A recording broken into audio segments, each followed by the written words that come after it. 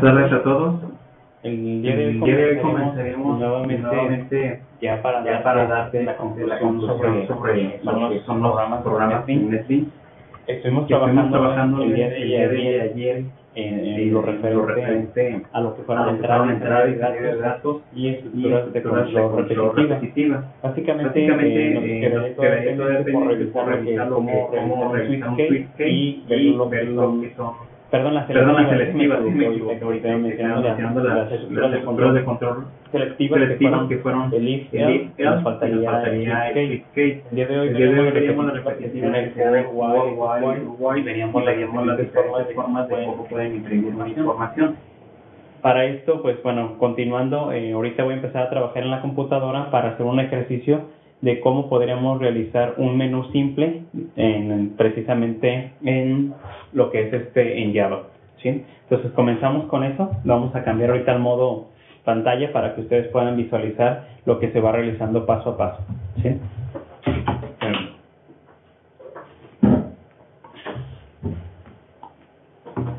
En esta ocasión voy a empezar a trabajar con uno de los archivos que trabajamos ya el día de ayer.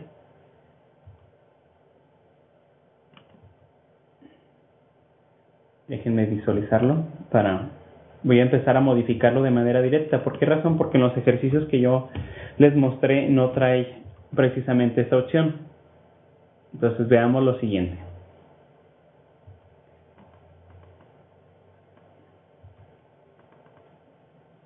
Voy a crear nuevamente lo que es ya el ejercicio número 6. Vamos a crear la clase nuevamente. Java class. Y le voy a llamar ejercicio 6.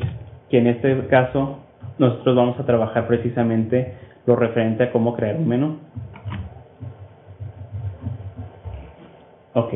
Vamos a hacer el copiado de alguno de los ejercicios ya realizados para poder hacer un poquito más ágil este ejercicio y que ustedes lo puedan visualizar. ¿sí? Voy a tomar este, lo voy a copiar y a partir de ahí empezaré a modificar. En el caso, si recuerdan, hicimos un ejercicio de, de, menú cuando queríamos que aparecieran los días de la semana. Entonces haríamos lo siguiente. Bueno, aquí si se fijan, pues ya aparece nuestro primer error, que esto se tendría que llamar ejercicio número 6.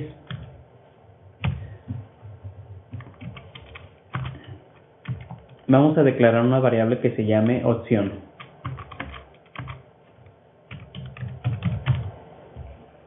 ¿Sí? Voy a declarar una variable que se llame op o, OPC para poder transformarla de ser una variable de tipo cadena, la voy a transformar a un valor numérico. Entonces, lo primero que voy a hacer es que el usuario ingrese una opción.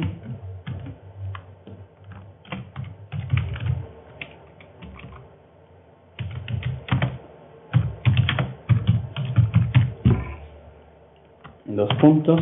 Y si se fijan ahí ya tendríamos el cuadro de diálogo en el cual me pediría precisamente que ingrese esa opción. ¿sí?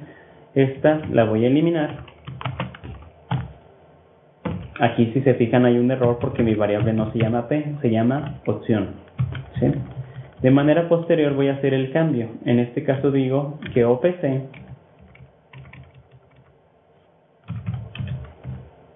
se va a convertir de ser de tipo string, la voy a transformar a de tipo entero. ¿Qué variable tengo que transformar? Lo que es la variable opción. Ah, bueno, aquí si se fijan cometí un error, le faltó un, paréntesis. Ok, de manera posterior realizaríamos ya nuestro proceso o lo que sean las operaciones a realizar. Entonces, toda esta información básicamente la voy a eliminar porque no es parte precisamente ya de mi programa.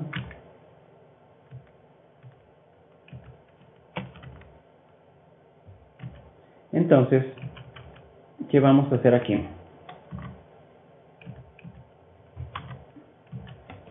Voy a poner switch. Dentro del paréntesis tendré que poner la variable que deseo evaluar. abro las llaves, ¿sí? Porque estas básicamente nos van a limitar cada una de nuestras instrucciones. Si se fijan aquí me marcan ahorita las llaves. ¿Por qué? Porque me falta una llave. Entonces comenzaríamos a trabajar con el caso 1, case 1, dos puntos, y le voy a decir que en caso de que sea 1, vamos a visualizar el mensaje de que es lunes.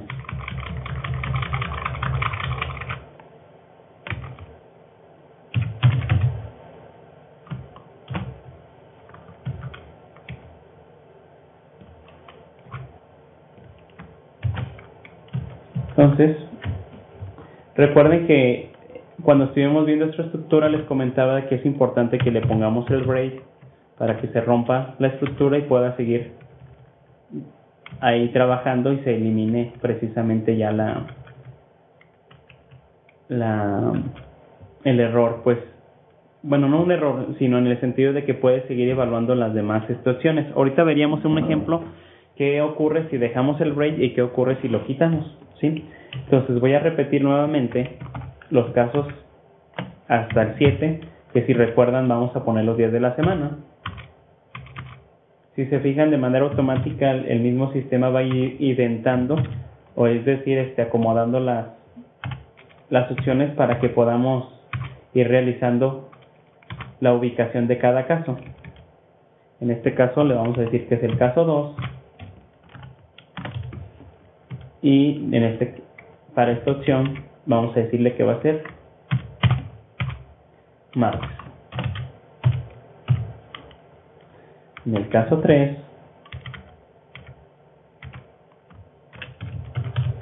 miércoles.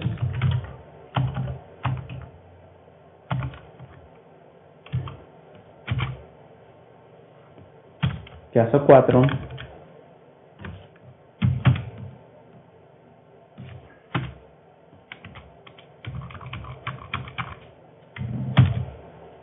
caso 5, caso 6 y caso 7. Ahorita los voy a acomodar ya en orden para que ustedes lo puedan visualizar mucho mejor.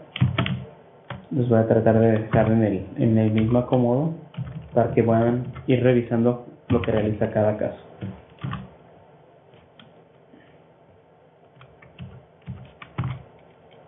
Estos errores que vayan ustedes observando, si se fijan, yo conforme los vaya corrigiendo se van a ir eliminando.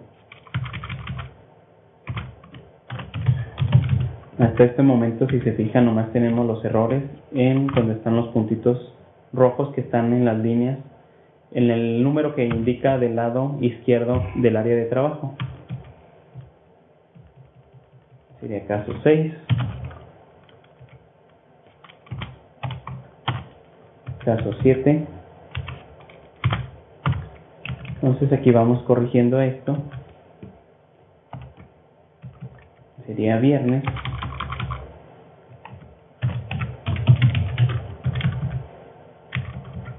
Día sábado y finalmente domingo. Si recuerdan es importante que agreguemos el default porque básicamente protegeremos que si el usuario da una opción incorrecta pues podamos precisamente evitar ese, esa situación de error. ¿sí? Se pone default, dos puntos, le ponemos el mensaje de error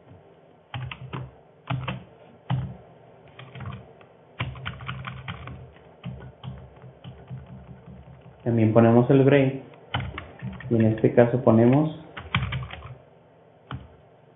la opción elegida no está entre 1 y 7 y 7 a 7 ¿Sí? cerramos el break perdón cerramos con una llave ya el switch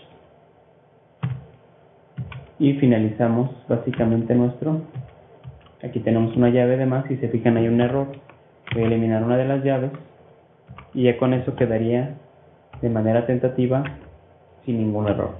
Volvemos a hacer el proceso que les mencioné el día de ayer. Le podemos oprimir tecla F11 para compilar o de manera directa irnos al menú de correr o ejecutar y le damos la opción de Build Project.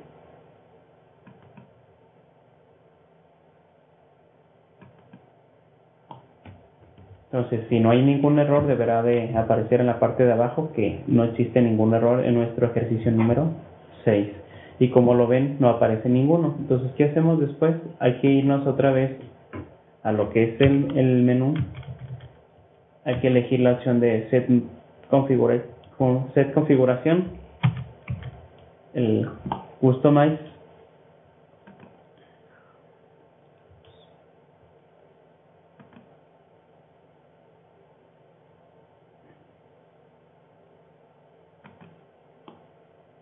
Elegimos aquí el ejercicio número 6. Le damos OK. Compilamos, bueno, más bien ejecutamos ya y se tiene que aparecer nuestra ventana. Aquí en correr, proyecto o ejecutar. Bueno, aquí me marcó un error. Veamos en dónde está el error.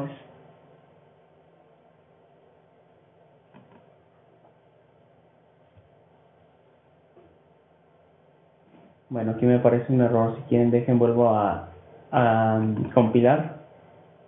Clean and build, Project. Nuevamente me marcó un error. Si se fijan, no aparece ninguno.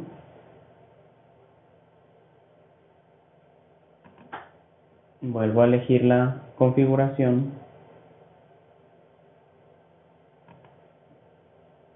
Vuelvo a verificar que el ejercicio 6 si aparezca. Si se fijan, aparece el ejercicio 3 entonces le damos clic aquí, seleccionamos la clase principal, oprimimos el botón de OK y compilamos, oh, perdón, ejecutamos nuevamente para ver si aparece algún error.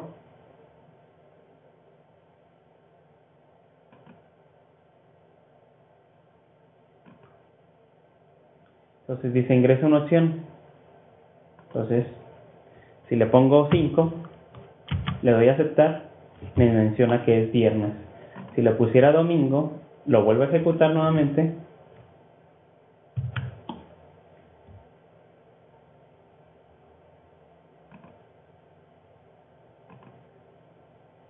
Supongamos le doy 7, le doy a aceptar y aparece ya la opción de domingo.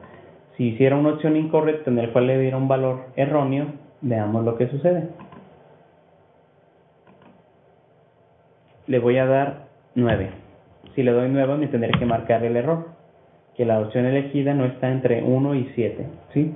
Entonces, aquí, este, si recuerdan, yo hice la transformación de una cadena, es decir, el dato que estoy ingresando lo transformo de estar en cadena, lo transformo entero.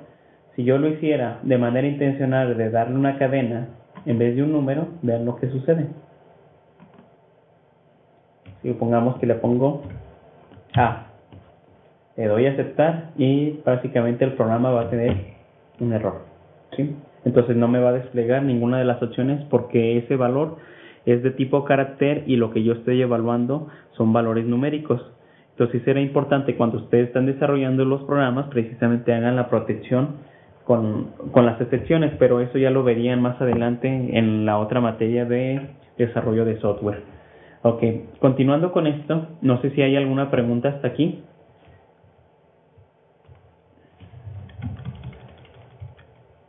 Si observaron ahorita el mensaje dice ingresa una opción.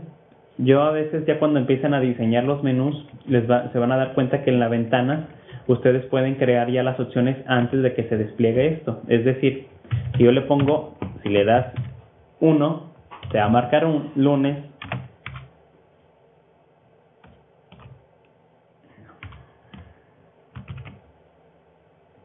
hay unos símbolos que nos ayudan a hacer un salto de línea. Ese salto de línea lo que nos ayuda es que aparezca el menú desplegado. Veamos qué sucedería si lo pongo de esta manera. Acuérdense que hay que volver a compilar todo porque si no nuestro programa va a funcionar con lo anterior. Volvemos a ejecutar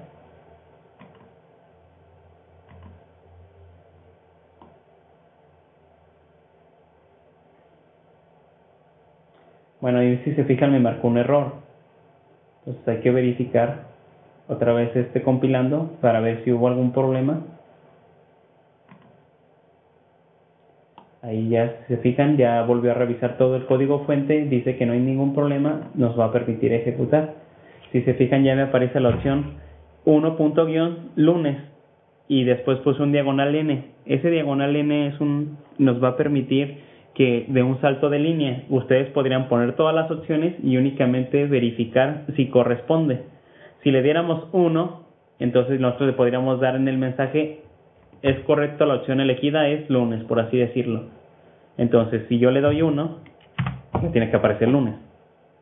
¿Sí? Esto ya es con, con la intención de que ustedes puedan clarificarle más al usuario en la información que aparezca en su menú. ¿Sí?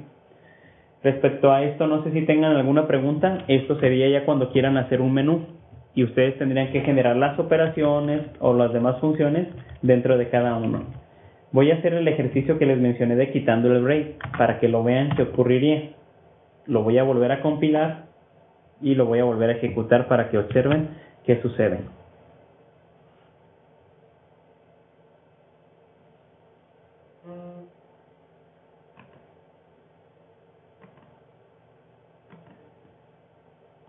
No hay errores.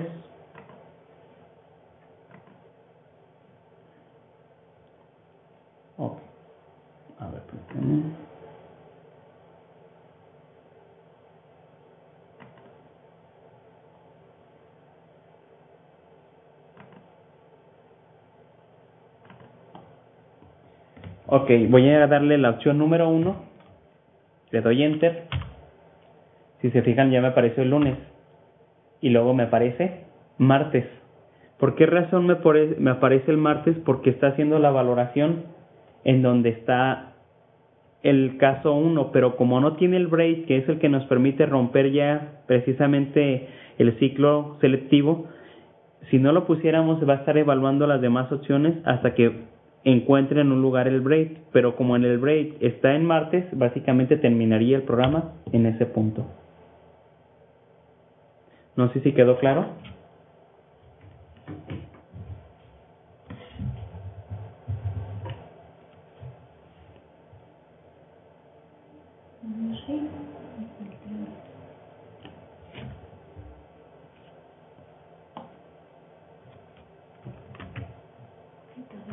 Ok, bueno, continuando con lo que es lo referente ya a las estructuras de control repetitivas, vamos a hacer el ejercicio de cómo poder este, imprimir una serie de datos.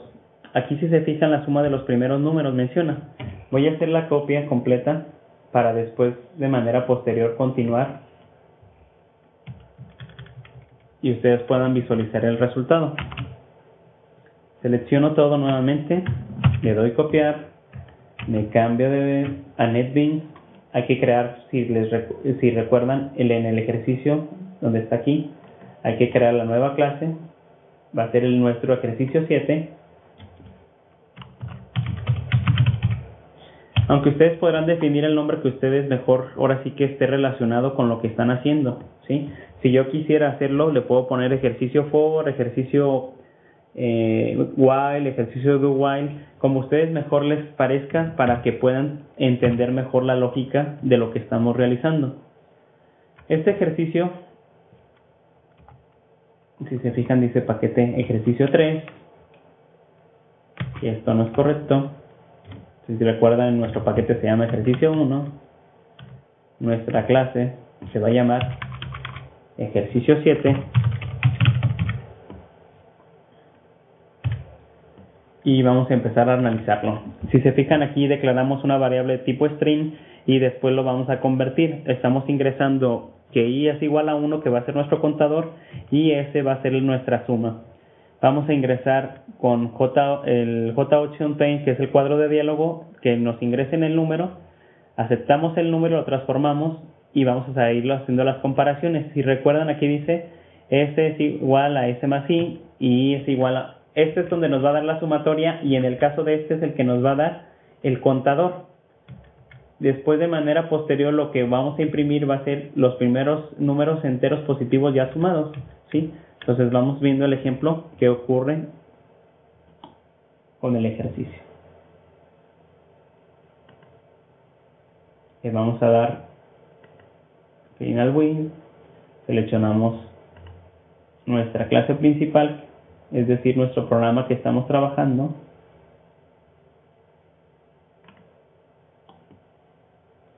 Aquí hay que verificar que ya nuestro ejercicio 7 aparezca. Si se fijan aquí está en la parte de abajo. Seleccionamos la clase. Decimos OK nuevamente. Y ejecutaríamos ya básicamente nuestro programa.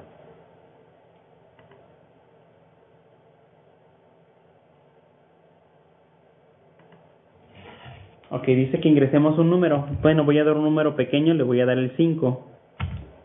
¿Sí? ¿Qué resultado tendríamos? Sería la suma de los primeros 5 números, es decir, 1 más 2 más 3 más 4 más 5 nos tendría que dar un resultado de 15. Entonces, si se fijan, ahí está la suma, la suma de los primeros números enteros positivos igual a 15. ¿Sí? Y le damos a aceptar y concluiría nuestro programa. Si nosotros quisiéramos este, ir viendo cómo se comporta esta suma, podemos hacer un cambio ligero aquí en el programa, que es como viene precisamente en los ejercicios que vimos el día de ayer. Si yo quiero sumar que vayan apareciendo los valores y le pongo aquí el valor, me va a ir marcando la suma conforme la vaya realizando en el ciclo. ¿Sí? Veamos qué ocurre volvemos a compilar nuestro programa. Bueno, aquí clean and build project. Ejecutamos.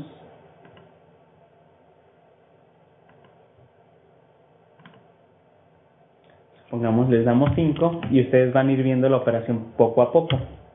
Entonces dice, si se fijan en la parte de abajo, únicamente lo puse el modo de salida de textual y en la parte de arriba ya tenemos el resultado.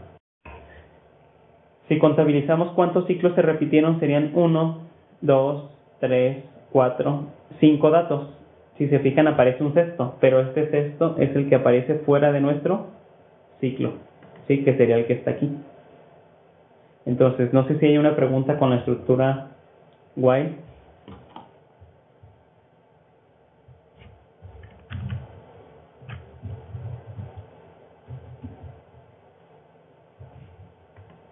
Acuérdense que se debe de cumplir primero este condición. Mientras la condición no se cumpla, no va a haber ningún problema y va a estar imprimiendo los datos. Si nosotros nos equivocamos al poner el valor, pues básicamente podemos crear ciclos infinitos que no vamos a poder romper más que cuando detengamos el programa. Vamos a, vamos a revisar ahora el siguiente ejercicio. Esto sería cuando hacemos con una estructura repetitiva denominada while o mientras. Nuestro siguiente ejercicio es el de ciclo for. Ah, perdón, el while, do while. En el ciclo do while es muy semejante si se fija en la estructura. De hecho, voy a aprovechar ahora sí que aquí ya está el código. Yo básicamente lo que voy a hacer es cambiarlo directamente ya en, en el ejercicio 7. ¿Sí? ¿Qué voy a hacer? Dice que vamos a cambiar el orden. Lo único que tengo que hacer es primero hacer el do esta instrucción, que es esta parte, la voy a mover de posición. Le voy a poner do, hacer, hasta, recuerden que lleva punto y coma, a diferencia de las otras, y vuelvo a hacer la misma, la misma operación. Vuelvo a compilar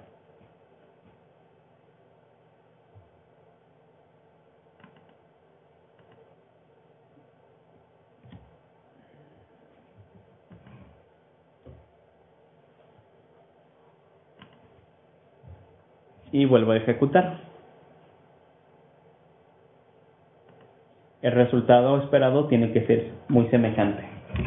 Le volvemos a dar 5 para que vean qué ocurre. Si se fijan, el resultado sigue siendo el mismo. Lo único que intercambié básicamente fue la posición de lo que era el while, lo puse al final y puse la palabra do para poder realizar este ciclo. ¿sí? En ambos casos funcionan de manera muy semejante, pero ya en los programas habrá necesidad de que algunos programas se ejecuten por lo menos una vez y entonces por esa razón se tendrá que utilizar el do while. Cuando se utiliza el while es cuando no queremos que se ejecute ninguna vez. En cambio con el do while por lo menos una vez se tiene que ejecutar nuestro ciclo. ¿Sí? No sé si tengan alguna pregunta hasta aquí.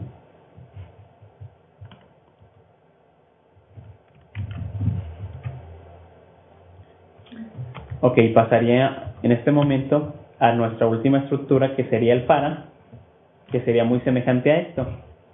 Lo único que voy a hacer aprovechando ahora sí que la estructura ya la tengo definida en la otra parte, vamos a visualizar qué cambiaría de tener un ciclo do a un ciclo for. ¿Qué voy a hacer? Voy a hacer lo siguiente. Voy a eliminar el for, perdón, el do, le pongo for, abro paréntesis, dice que tiene que tener inicializada la variable y es igual a 1, pero arriba ya la tengo declarada, si observan. Entonces lo que voy a hacer es eliminarla de aquí para que quede el ciclo completo. Ok, después hay que hacer la comparación. La comparación está después del while, en este caso y es menor o igual a n. Lo separamos con punto y coma y de manera posterior vamos a mover al, a lo que es el contador. Este contador está dentro del ciclo, ahora quedaría dentro del paréntesis.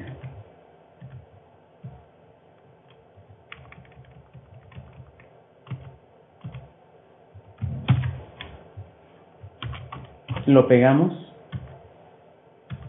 y si observamos, lo vuelvo a ejecutar, ahorita voy a quitar ahí el while que tampoco tendría que estar en este caso, no tendría razón de ser.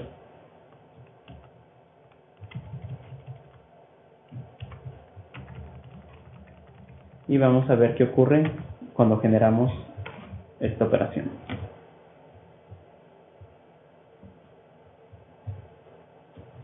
Entonces volvemos a compilar.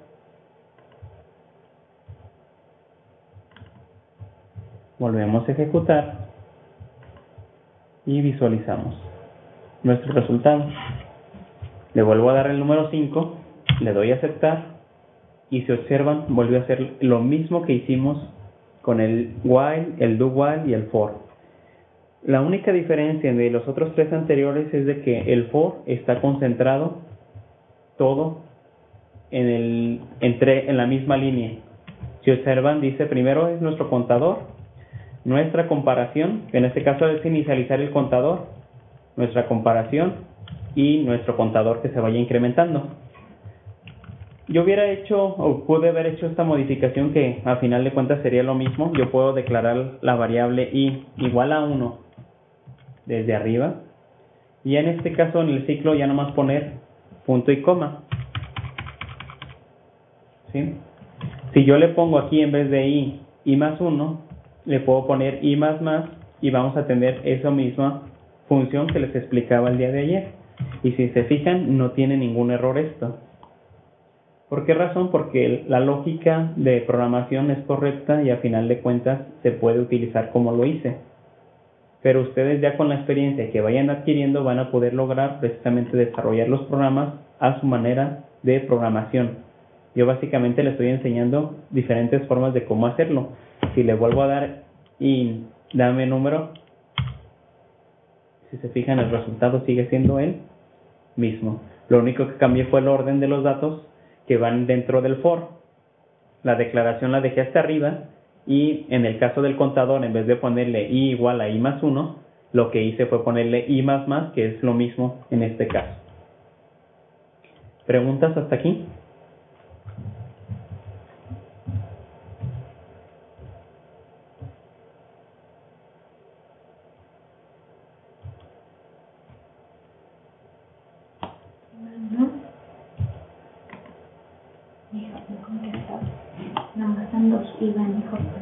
no, tampoco. Básicamente, con lo que acabamos de programar, ya vimos funciones de entrada y salida, manejo de variables, lo que son los mismos operadores, aunque no hemos hecho operaciones de suma, resta, multiplicación, división, porcentaje y eso, son ejercicios que se van a tener que desarrollar por parte de ustedes. Ya en el caso del menú ya les mostré cómo realizarlo, ya ustedes, pudieron observar también cómo manejar lo que son los tres ciclos, el for, el while, el do while. Estas estructuras de manera posterior nos va a servir para el manejo de arreglos. Los arreglos, que es el último tema que viene dentro del curso, nos van a permitir precisamente crear un arreglo, darle datos, pero esta parte ya me gustaría que ustedes básicamente empiecen a practicarlo. No sé si tengan respecto a hasta este momento todo lo que vimos desde el día martes hasta el día de hoy es lo que viene dentro del curso. Claro, es de una manera muy sintética, con miras a que ustedes puedan comprender que son conceptos sencillos y que puedan ustedes generar los programas de una manera fácil. Ahora lo que queda de, su parte más bien sería empezar a revisar los materiales que vienen dentro de la plataforma y empezar a realizar ejercicios de tal manera que realmente puedan ir desarrollándolos poco a poco y lograr precisamente la competencia de la programación. Por ejemplo, si ustedes entran, ahorita voy a ingresar a la plataforma, les voy a decir en la sección, dejen, permítanme, deje ingresar.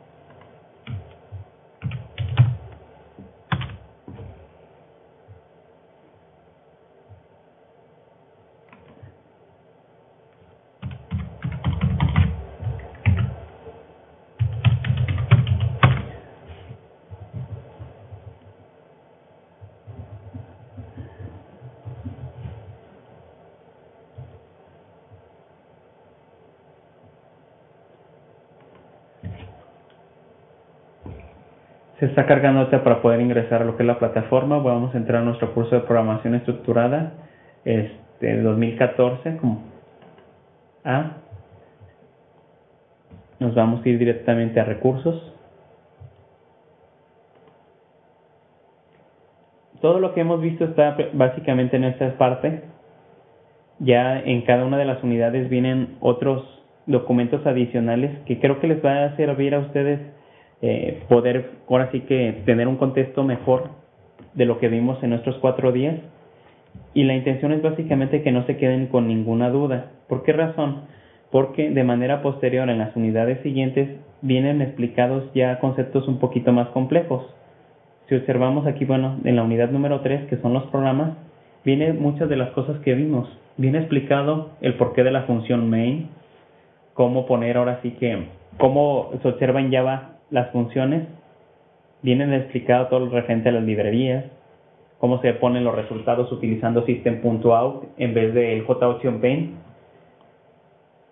Si se fijan aquí viene un, este, un ejercicio sencillo de agregando argumentos, cómo leer datos desde el teclado, que son ejemplos que, bueno, básicamente yo ya les enseñé cómo ingresar los datos, e inclusive aquí viene un ejemplo con excepciones para poder evitar un error dentro del mismo programa.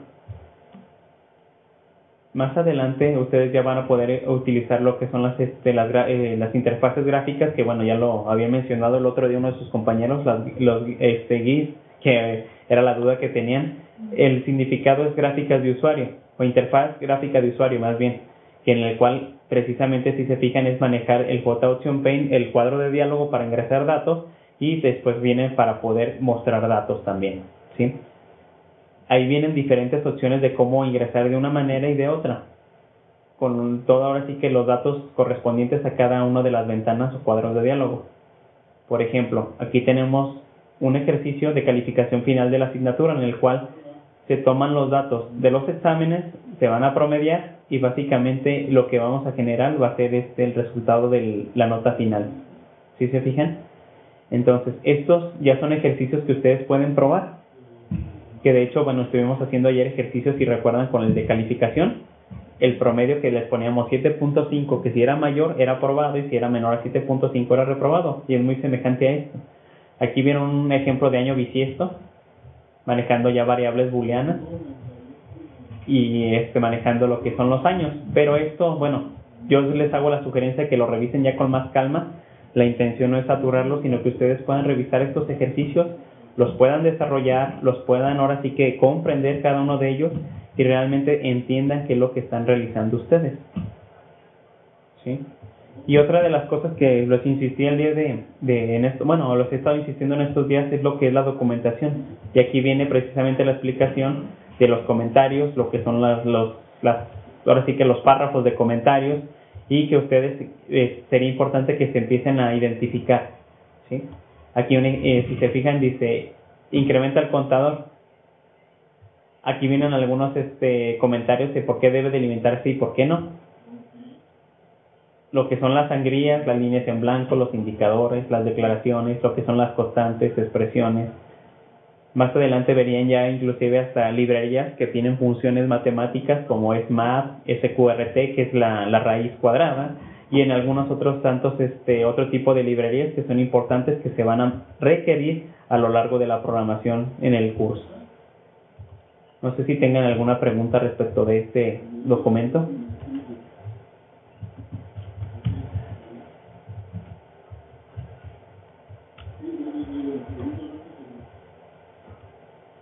Sí, bueno, dice que conforme la práctica ya. Hay una página que viene Ah, bueno, no, esta no es. Pensé que era... Bueno, también son ejemplos sencillos de cómo realizar este programas, pero creo que es el mismo documento que acabamos de ver. Sí, es el mismo, pero aquí ya viene un poquito más detallado. No, es el mismo documento que estuvimos revisando anteriormente, perdón. Lo que les mencionaba respecto a los arreglos y modularidad. Aquí ya en estas excepciones, si me voy aquí a modularidad, ya viene explicado de una manera un poquito más detallada, que es un, aquí le llamamos módulo, que muchas de las veces ya cuando tengamos programas grandes, este se va a seguir ahora sí que la idea de dividir un programa grande en pequeñas fracciones y poderlo conjuntar en uno solo, que es lo que podemos decir que es divide y vencerás. Este es un ejemplo sin modularidad. Más adelante viene un ejercicio con la modularidad si se fijan aquí ya estamos usando funciones que les va a permitir generar precisamente las operaciones, pero estamos generando cada una de las funciones para suma, para resta, multiplicación y división. ¿sí? Esto les digo, necesito que básicamente ustedes empiecen a, a identificar, aquí viene un ejercicio en el cual viene ya un arreglo. Aquí tenemos los valores del arreglo y la intención es introducir el valor 1 y el valor 2 la intención es, en este caso, generar una sumatoria de la información que está dentro de los arreglos. Y aquí vamos a ir viendo ya funciones que nos van a permitir precisamente movernos a lo largo del arreglo y poder generar la sumatoria que viene aquí. Si observan, bueno, vienen ejercicios más, más abajo de arreglos, pero usando ya funciones. Es un poquito diferente, pero en conceptos viene muy semejante. También tenemos otro apoyo, que son arreglos. Los arreglos, como les mencionaba, bueno, podríamos hacer un ejercicio. Ustedes pueden dejar que el arreglo esté vacío desde el arranque o ustedes pueden inicializarlo y eso ya es decisión de ustedes. Entonces, aquí ya vienen ejercicios con los arreglos en los cuales ustedes van creando este arreglos de ahora sí que dimensionales, ya sea con un, o sea, un solo, un, bueno, se, dice que sea un solo vector o bidimensionales que se manejen ya dos datos, pueden ser numéricos o de numéricos o hasta con caracteres, pero eso ya es un poquito más complejo. La intención de este curso es que ustedes únicamente conozcan el manejo de los mismos. Si observan, aquí está un ejercicio en el cual maneja dos vectores diferentes con valores 10, 20 y 30, 60, 25 y 100 si se manejan los arreglos, aquí vamos a manejar un resultado de las operaciones que se están generando precisamente con este arreglo, que es la suma del vector 1 más el vector 2. ¿sí? Y bueno, la idea, y como les comento, la intención es de que ustedes también puedan generar trabajos de matrices. Este es un trabajo de una matriz en la cual tenemos tres datos por cada una de las de, de los ahora sí que de los elementos que tiene y también estamos generando una sumatoria. Esto en el caso de matemáticas se maneja mucho lo que son las matrices, pero bueno, esto ya serían programas mucho más complejos que no es la intención propiamente del curso, pero sería interesante que ustedes lo revisen para que profundicen más los conceptos. ¿Por qué? Porque a final de cuentas esta información ya es parte del siguiente curso que es el de programación orientada a objetos, en los cuales ustedes se van a manejar clases y objetos, que viene aquí si se fijan un archivo, que ustedes pueden visualizarlo, en el cual aquí viene un index. Y si observamos también aquí podemos empezar a iniciar y ustedes pueden ir revisando lo que es un paquete, lo que son las clases, atributos, funciones, constructores, sobrecarga, que mucho de esta información que estoy mencionando básicamente es ya parte del curso de desarrollo de software. Se pone aquí porque muchas de las ocasiones, este, cuando empiezan a, a, adentrarse en el siguiente, en siguiente, en la siguiente materia, ustedes empiezan a tener muchas dudas y entonces les sugiero que este recurso lo tengan guardado porque les va a servir mucho en el siguiente en el siguiente curso de programación. No sé si tengan alguna otra duda respecto a esto.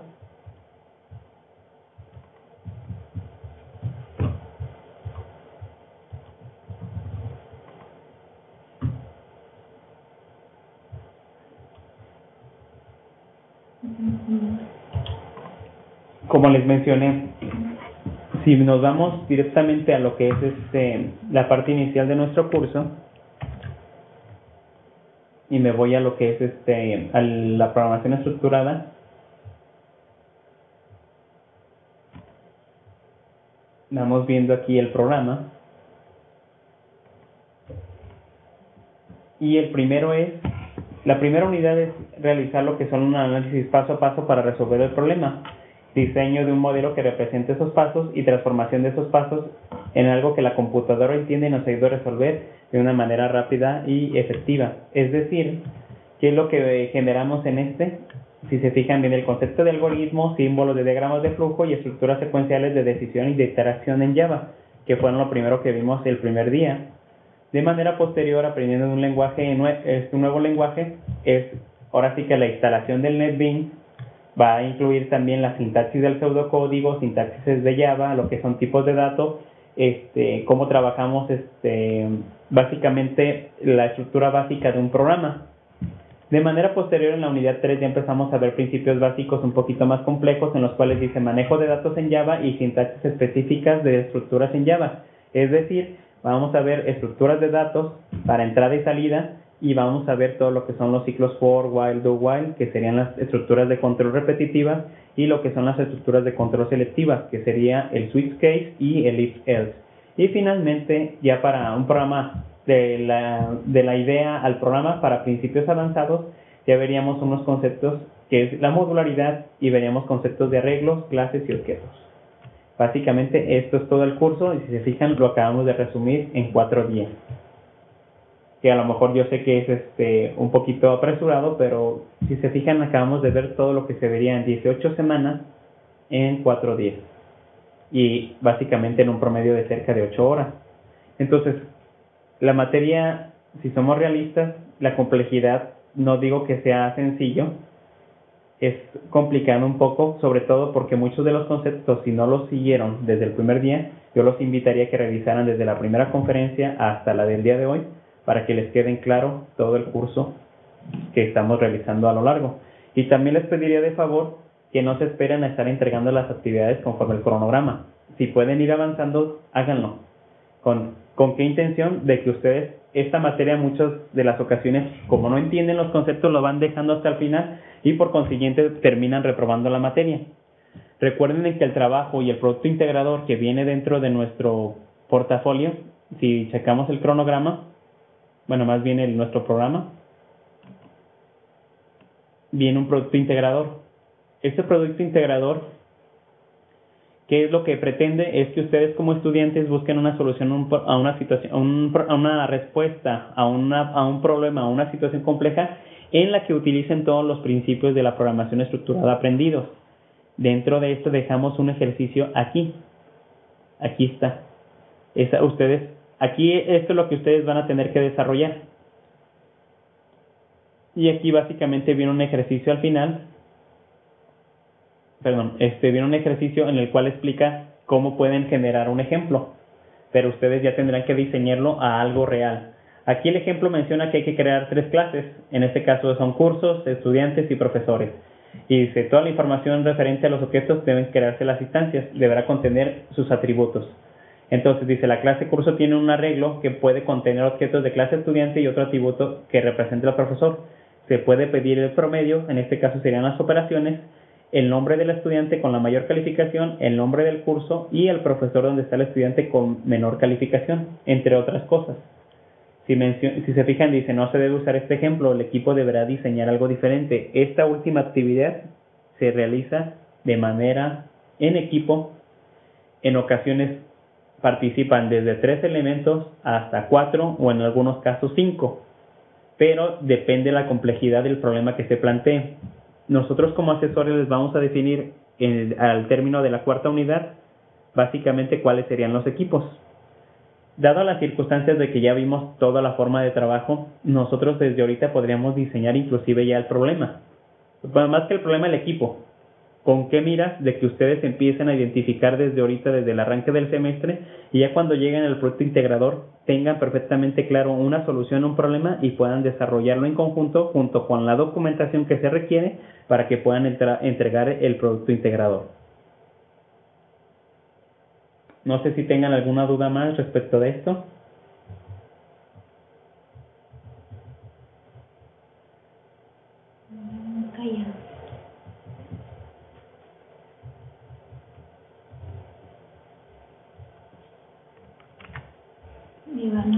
Todo bien.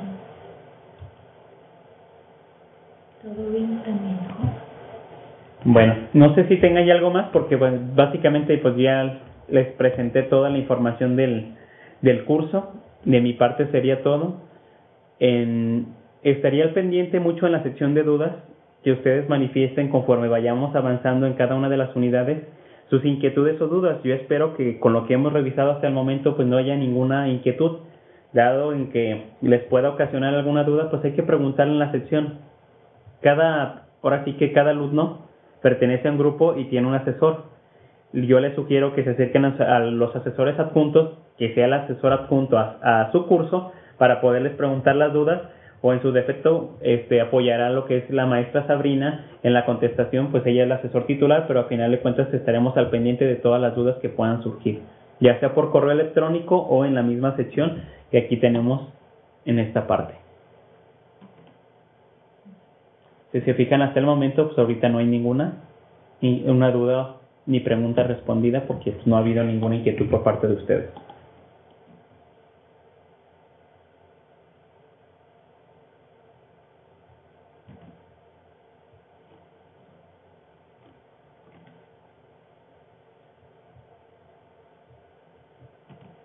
Muchas gracias. Bueno,